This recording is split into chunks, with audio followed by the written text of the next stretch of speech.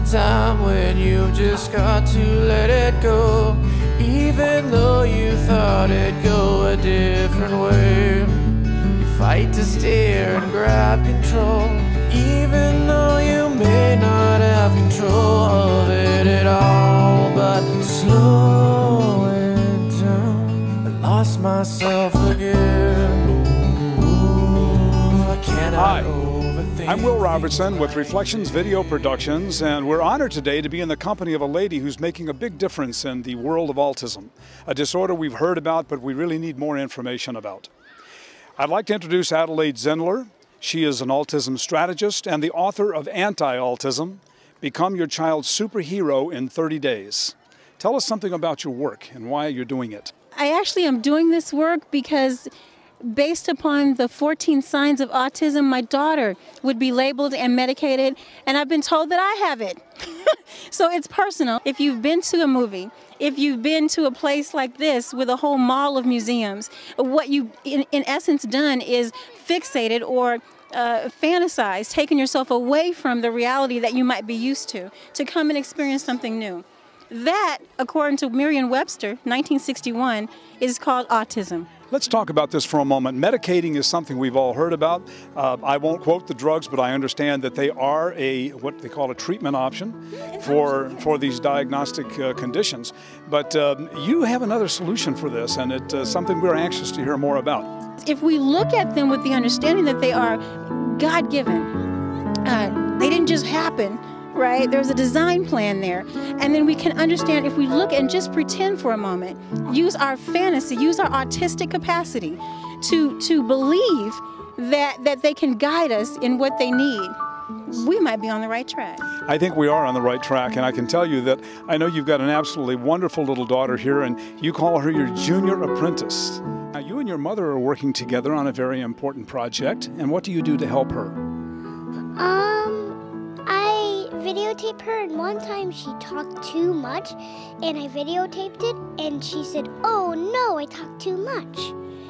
And even the person um tried to say something, but she just um said something besides.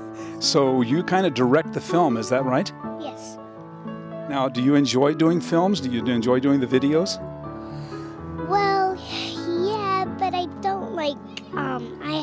Sometimes maybe stand up and move around, but I don't really like doing that. And I don't like to hold the camera; it makes my arms tired. You are darling. So let's see now. You're a filmmaker and you're a student. And is there anything else that you do? Do you have any hobbies? Um, well, I don't know what hobbies are, but I do have um books that I like to read and movies that I like to watch. What are your favorite books? My favorite books are the Berenstain Bears. And what are your favorite movies? Mm, My favorite movie is Boz.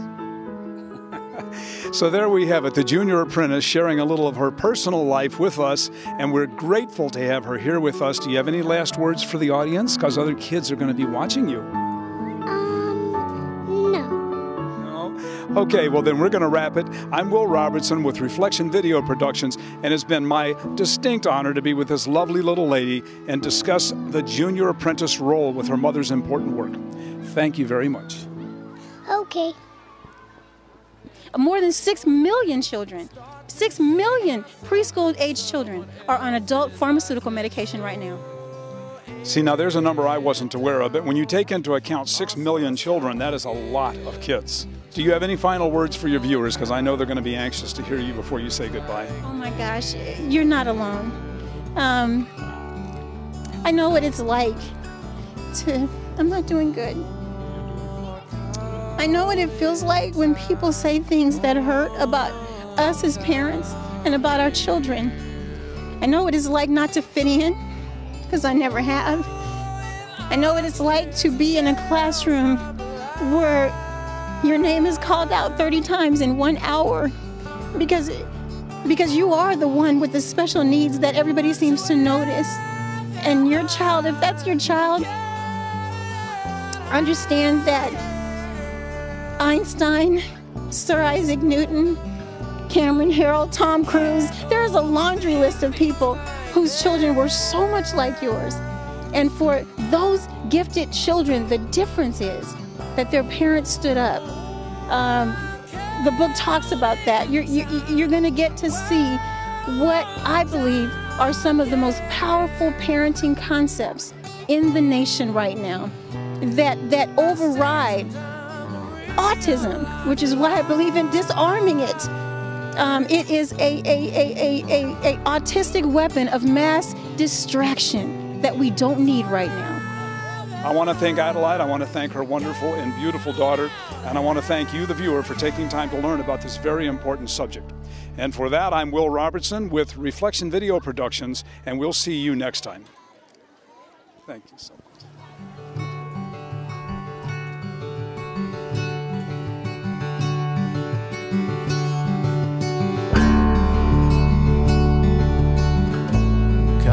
Time when you've just got to let it go, even though you thought it'd go a different way. You fight to steer and grab control, even though you may not have control of it at all. But slowing down, I lost myself